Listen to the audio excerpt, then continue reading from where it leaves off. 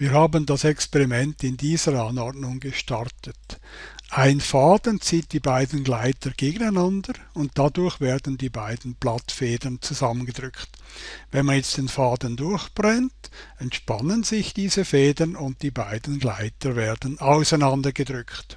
Ein bisschen später haben wir diese Situation. Die Gleiter bewegen sich immer noch voneinander weg und dieser Gummi beginnt sich zu spannen. Und diesen Prozess wollen wir jetzt analysieren. Nun muss man wissen, dass die Grundgröße der Mechanik der Impuls ist.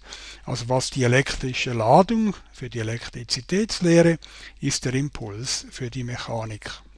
Um diesen Prozess eindeutig zu analysieren, brauchen wir jetzt eine positive Bezugsrichtung. Wählen wir die nach rechts. Und jetzt analysieren wir den Vorgang im Flüssigkeitsbild. Im Flüssigkeitsbild werden die beiden Körper zu zylinderförmigen Töpfen, der Impuls wird zur Flüssigkeit und die Masse oder die träge Masse wird zum Querschnitt der beiden Töpfe. Die Geschwindigkeit ist dann die Füllhöhe. Diese große Fläche da im Hintergrund symbolisiert die Erde.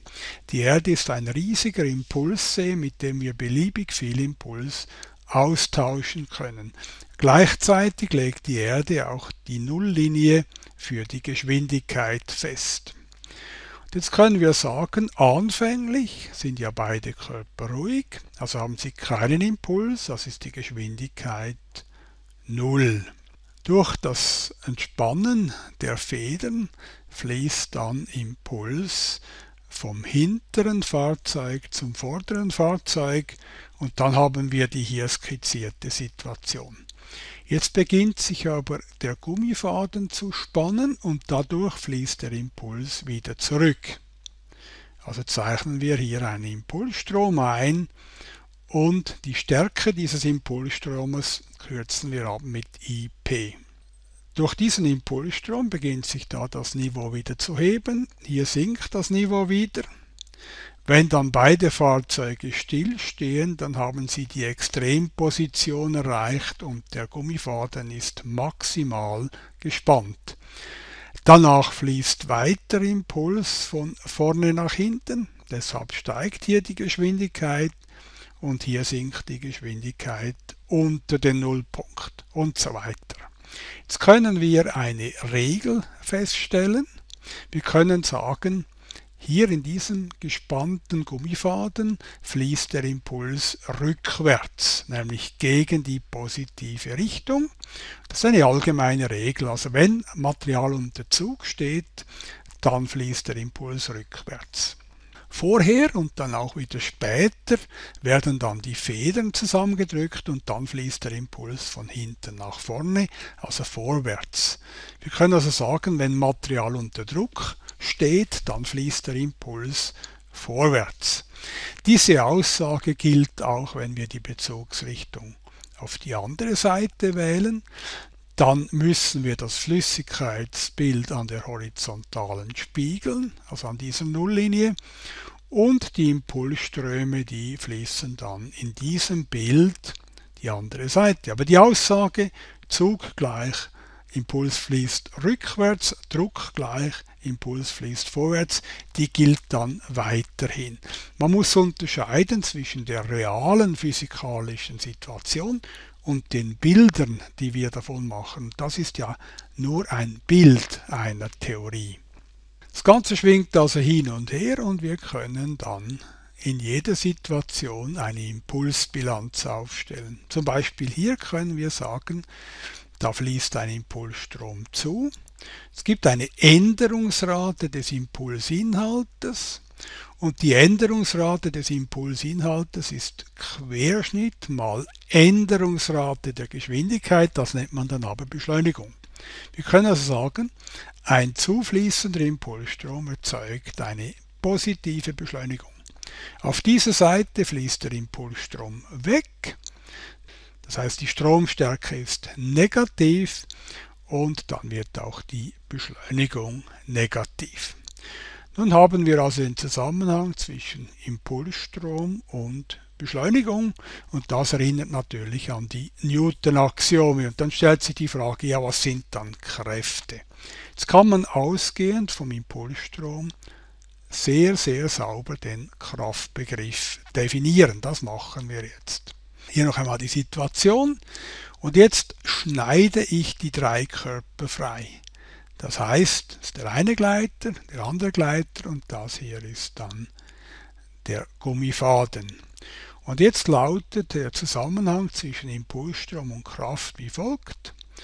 Die Kraft kann definiert werden als Impulsstromstärke bezüglich eines Systems. Also nehmen wir zuerst das rote System und sagen, hier fließt Impuls rein. Impuls rein heißt, es gibt eine positive Kraft, also in positive Richtung.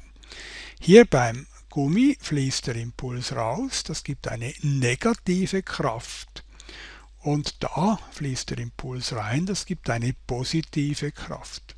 Bei diesem Gleiter fließt der Impuls raus und das gibt dann eine negative Kraft. Das heißt, Impuls und Impulsstrom sind real. Kräfte sind einfach nur Schnittgrößen bezüglich Objekten. Übrigens, die beiden Kraftpfeile halten den Gummi im Gleichgewicht und die beiden Kraftpfeile, das ist Aktio gleich Reaktio und die beiden Kraftpfeile ist Aktio gleich Reaktion. Ich bin überzeugt, dass diese Betrachtungsweise viel, viel mächtiger ist, als wenn man mit den Newton-Axiomen beginnt und sich dann lang nur mit Beschleunigung und Kraft beschäftigt. Zudem hat sich die Physik seit Newton weiterentwickelt und der Impuls ist immer wichtiger geworden. Ich möchte das hier zeigen. Hier ein Ausschnitt aus Wikipedia, da geht es um die Navier-Stokes-Gleichung und das ist eigentlich die verallgemeinerte Impulsbilanz.